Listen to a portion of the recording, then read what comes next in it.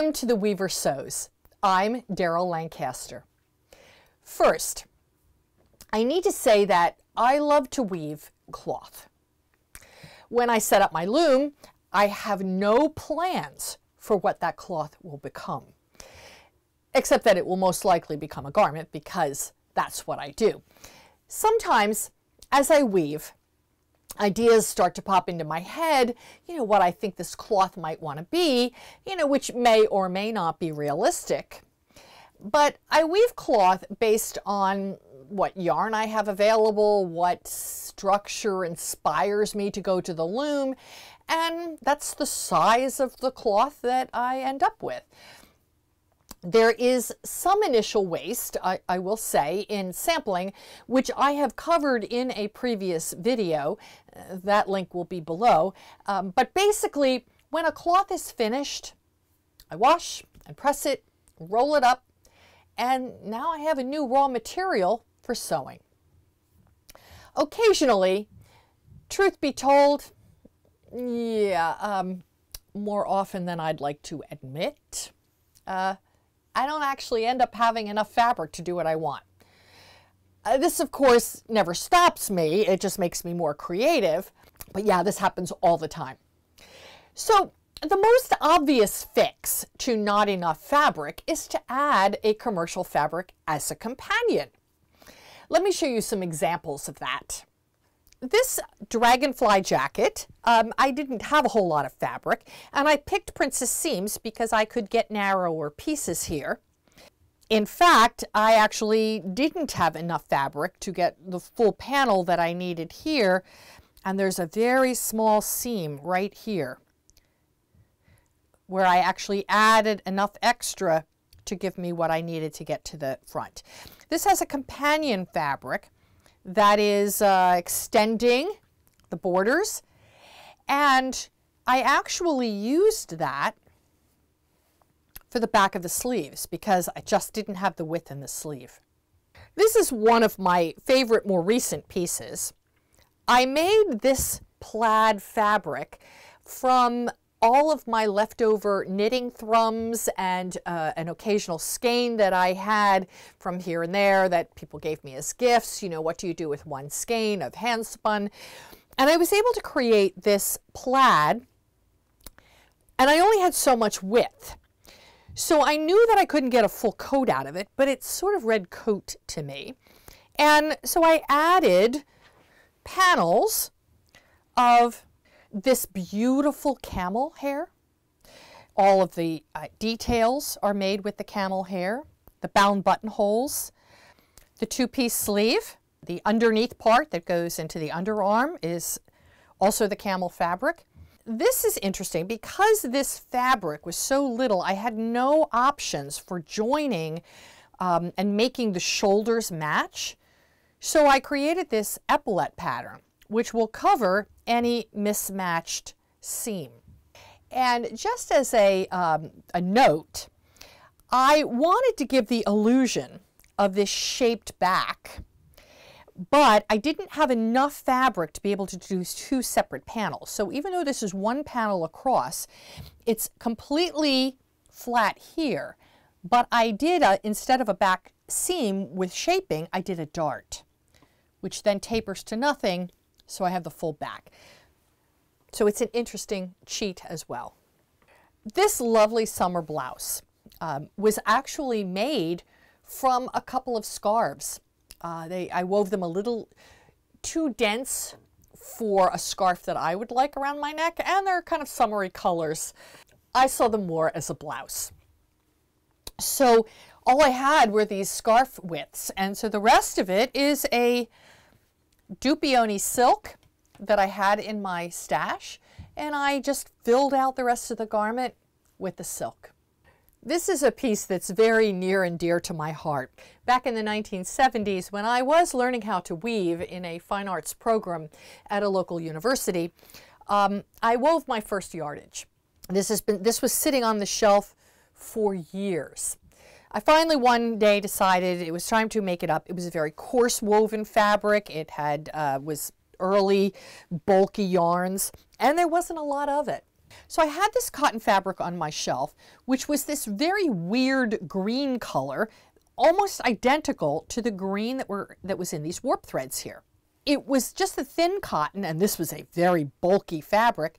So I took a twin needle and some quilt batting, and I actually quilted the surface of this to bulk it up to give it the same kind of loft that this handwoven fabric had.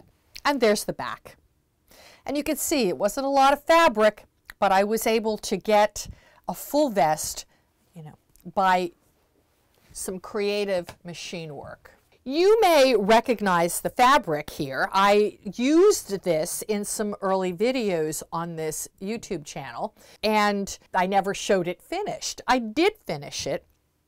This was a very, very sleazy, loosely woven Chanel type fabric. It was commercial. I purchased it commercially. I did not weave it, but it simulated a lot of what happens when you have loosely woven hand wovens.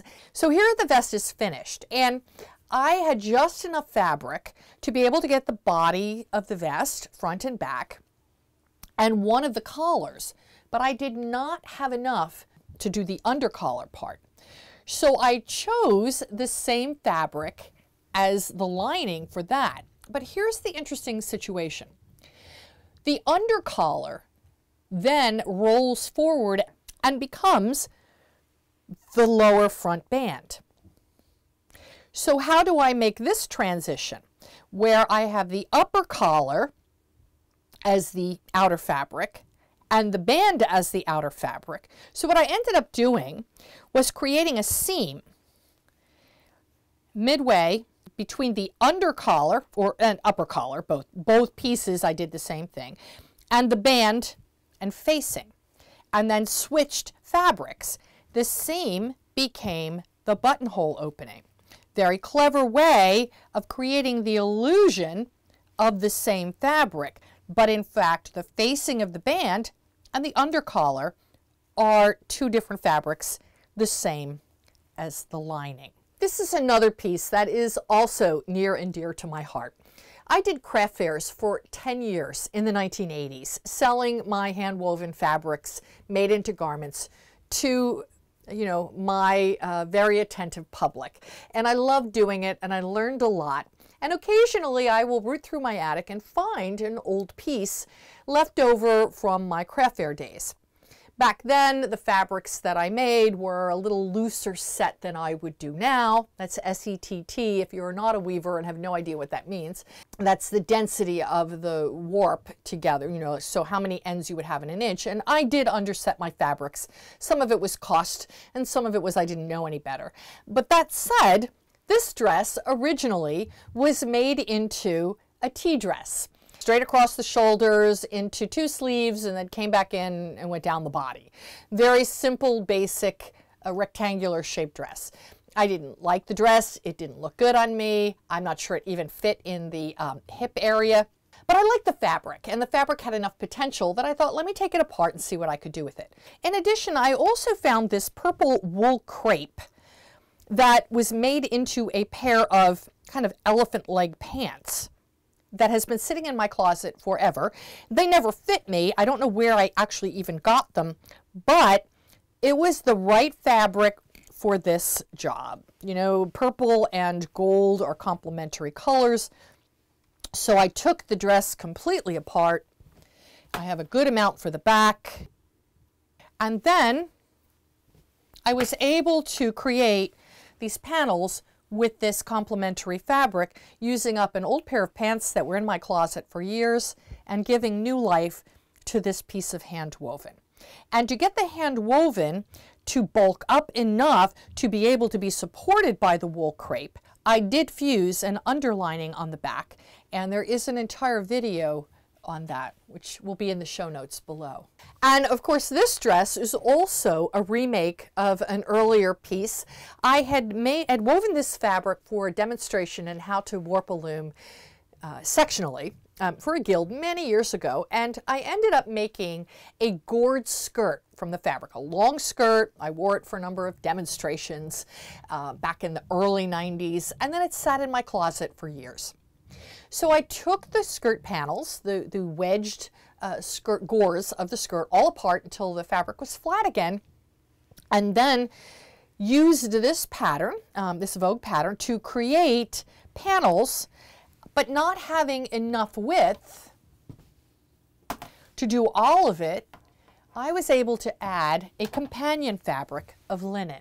And of course, because linen has no give at all, and this fabric did, I was able to fuse an underlining onto the back to make sure that it stayed put and didn't grow against the linen side panel. Another option is to break apart the pattern pieces into smaller sections. This jacket has a yoke and the body was actually cut on the crosswise, so the weft is running vertically. Um, it was the easiest way to get out what I needed from the small amount of fabric that I had. If you look at the back here, you'll see the yoke cut in one direction, which is very common in a yoke like that, and the back is cut on the crosswise. I just want you to note that this jacket actually featured waist darts, but if I really had to break into smaller components, those waist darts could have been seams. This jacket, this princess seam jacket, um, though it's not hand woven, um, it could have been. I found this fabric, this beautiful fabric, uh, uh, in a commercial establishment, and um, it's something that I've always meant to look carefully at and actually try to reproduce on the loom. That said, I broke it into princess seams because there wasn't a whole lot of it. And the directions for how to do that are in the instruction manual for the 200 jacket. Um, that's available on my website. The link for that will be below, and those instructions are free. So there is a part in there that shows how to break this particular jacket apart into princess seams. So this uh, commercial equivalent, say, of a hand woven, was paired with corduroy to extend it. And this jacket was made from tencel, 8/2 tencel fabric, which I wove, um, that was originally woven and made into a strapless dress for a companion garment for an ensemble for a fashion show from 2008, I believe. After a couple of years, I didn't need the dress anymore. Um, it had traveled with the, uh, with the exhibit. And I took the dress apart at every seam and was able to recut this strapless gown into this jacket. Now, to get everything to work, I had to add seams where there weren't any seams before. I mean, I did pick princess seams here so that I had narrower sections of the garment to work with. If you look on the back, you will see that the princess seam on the back, I've cut apart into yet an additional section by adding a seam right around the waist. Those added seams can work in different ways to be able to break apart pattern pieces into smaller components to fit on smaller pieces of fabric. And you can sometimes put design details in there, like inseam buttonholes. The piece on this dress form over here, this, this lovely blue mohair piece, used to be a long shawl collared bathrobe like coat that belonged to my mother in law. And after she passed and I found it in her closet, it was a piece that I had woven in my craft fair days in the 80s and gave it to her as a gift. I found the piece in her closet and ended up taking all the pieces apart, washing them to get them a little more dense, and then I took all these small pieces and I made the jacket you see here. So there's a lot of seams in that, and I was able to use some much smaller pieces to get that jacket out. When the fabric really isn't wide enough, but it's really important to have a full back that you can't cut in two separate pieces for wh whatever reason, consider moving the side seams closer towards the back. In this walking vest, because of the shadow weave structure, there was no way to match two halves of the back and get these to line up. There was just no way. I only had enough length of cloth to do three lengths, two for the fronts and one for the back. And the cloth was not wide enough for a full back. So I figured out how much I could actually get out of the fabric if, um, if I left the back as one piece added seam allowance, and then took off everything that was, you know, that didn't fit and attached it to the front. So here's where the seam starts at the vent and it travels up and you can see that it ends back here at the armhole opening, not at the side seam. This is all one piece with the front. I'll show how to do that in just a sec. So this is a jacket that I'm currently working on. You get to see a work in progress. I wove this fabric and recently pulled it off the loom. It uses some vintage wools that were on my shelf for the warp and this wonderful yarn I picked up on sale. I believe it's discontinued now. It's Noro Taiyo lace. And the color gradation is engineered into it, which gives this beautiful gradation in the weft. It was mostly predictable, but not perfect. Occasionally, there would be a knot, which would throw off the sequence, or I changed skeins, which would also throw off the sequence. And um, it took me the better part of two days to figure out how to lay out these pieces to be able to get them at, to match as closely as possible um, horizontally, you know, so that the, the patterning matched up. I wanted this to be a kind of loose fitting, unconstructed, comfy sweater, you know, to wear around the house as I continued to quarantine my favorite go-to sweatery jacket, something I bought in a shop on Whidbey Island years and years ago, was really starting to show its age. Anyway, because of the color gradation and the inconsistency in spots, I couldn't get the fronts to match and find two lengths to also get the back to match. So taking a clue from that walking vest I just showed you, I was able to do a full back, find where it matched best the front panels, and then move the side seams around to the back.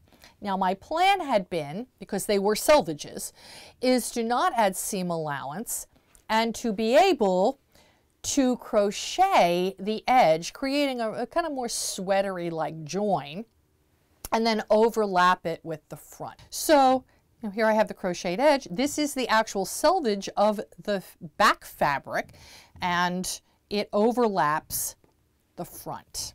And you can see I'm still in the process of crocheting around uh, the perimeter. So let me show you how I actually did that. So this shows, this scrap of fabric left from after cutting out, shows the width of the cloth, the selvage to selvage. And based on that, and knowing I didn't need to add seam allowance because of the way I was going to construct the garment, I took the maximum width and that's what I cut. I drew lines to indicate this is where it's going to get cut off. Those are parallel to the center back so that um, any shaping in the side seams would have to get moved around to the front.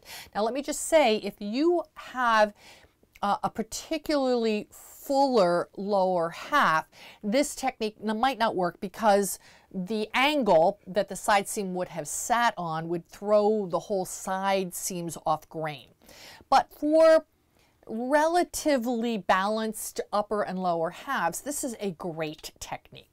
So the first step to do this was to indicate the side seam allowance on both the front and the back. And I had a line indicating where I needed to cut this piece so that I would have the maximum fabric on the back and the rest I could stick on the front. So once I cut the piece apart there,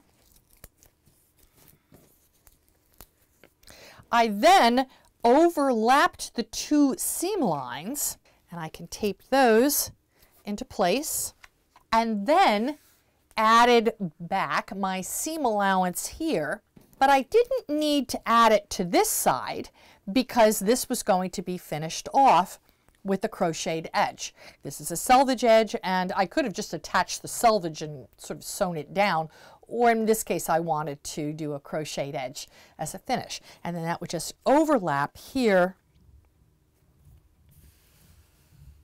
and I magically had this beautiful cardigan-esque kind of jacket that matched the patterning all the way around. Next time, we'll talk about my most favorite method of cheating when you don't have enough fabric by butting two selvages together.